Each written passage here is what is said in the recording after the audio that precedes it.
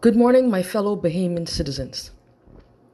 I am sending this short voice note to congratulate the Member of Parliament for North Abaco, Mr. Darren Henfield, and to bid him farewell.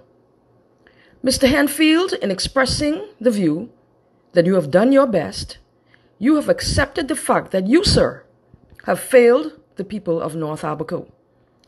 The finality of your admission, however, is unacceptable in the arena of politics or in life, and it is a slap in the face to the people who elected you. This defeatist attitude is not what the people of North Abaco need at this time or at any time. I suspect that you made this admission in the hopes that the people will feel sorry for you.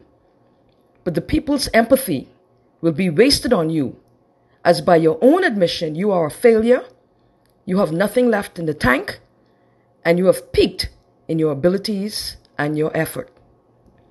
I, however, applaud you for not wasting the people's time and leaving them with the only logical decision left, and that is to put you out of your misery and vote you out. Goodbye, Mr. Henfield, and good riddance.